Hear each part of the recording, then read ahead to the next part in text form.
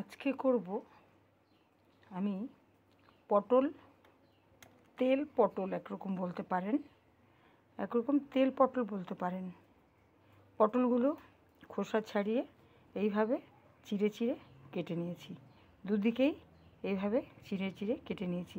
যেহেতু গোটা পটল সেই জন্যে দুটো মুখে ছাড়িয়ে এইভাবে চিড়ে দিতে হবে, যাতে চট করে সেদ্ধ হয়ে যায়।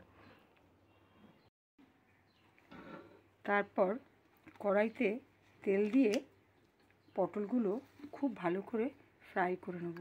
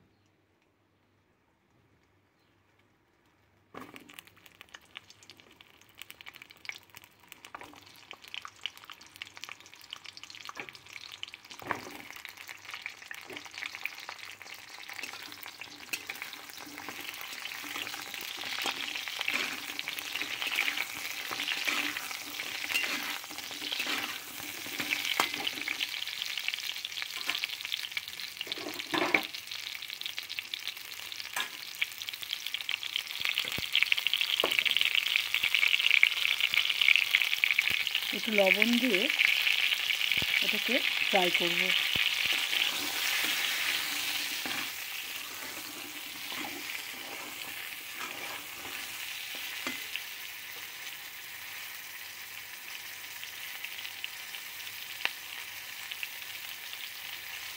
আঁচটা কমিয়ে দিতে হবে। গ্যাসের আঁচটা কমিয়ে দিতে হবে।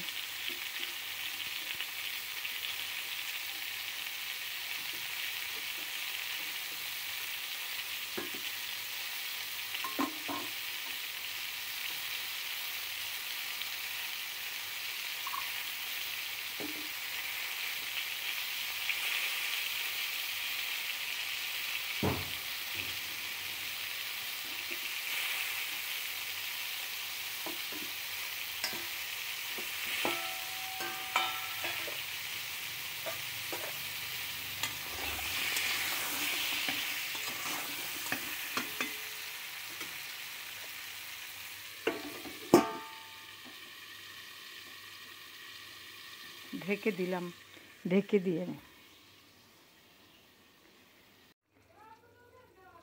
একটু সাদা তিল আর কয়েকটা কাঁচা লঙ্কা বেটে নেব। সাদা তিল কাঁচা, ভাজা না, কাঁচা সাদা তিল। এটা মিক্সিতে বেটে নেব। এরকম লাল লাল করে পটলগুলো ভেজে নিতে হবে। এবং খুন্তি দিয়ে এভাবে কেটে দেখতে হবে সেদ্ধ হয়ে গেছে কিনা। তখন এটায় তিল বাটা দিতে হবে। লঙ্কা, কাঁচা লঙ্কা ও তিল এই যে বেটে রেখেছি, এটা এখন দেবো।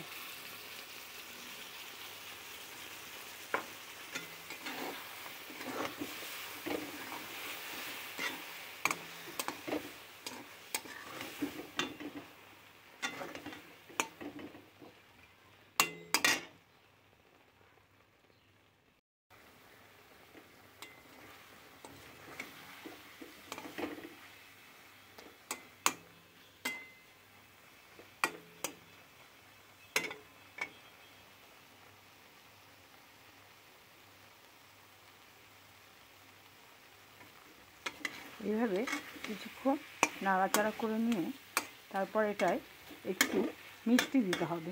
সেটা যে যেমন পছন্দ করেন, তার আন্দাজ মতন তিনি দেবেন। এই যে আমি এক চামচ পরিমাণ দিচ্ছি।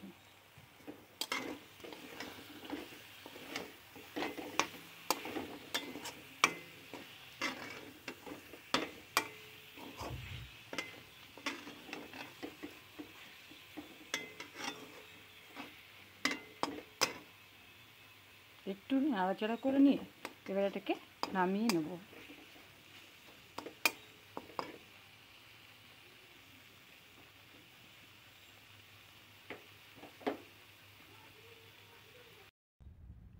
ব্যাস, হয়ে গেল তেল পটল বা তিল পটল। এটাকে আমরা বলি তেল পটল। অনেকে আবার বলে, তিল দিয়ে যেহেতু রান্না, অনেকে বলেন তিল পটল। তাই এইভাবে বন্ধুরা একদিন খেয়ে দেখুন কেমন লাগে। আজকে এই পর্যন্ত রাখছি। আবার দেখা হবে নেক্সট ভিডিওয়ে নমস্কার।